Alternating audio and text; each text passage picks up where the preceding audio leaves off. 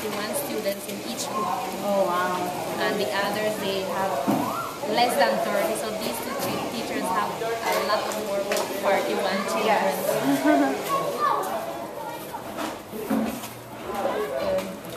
Yes. looking good.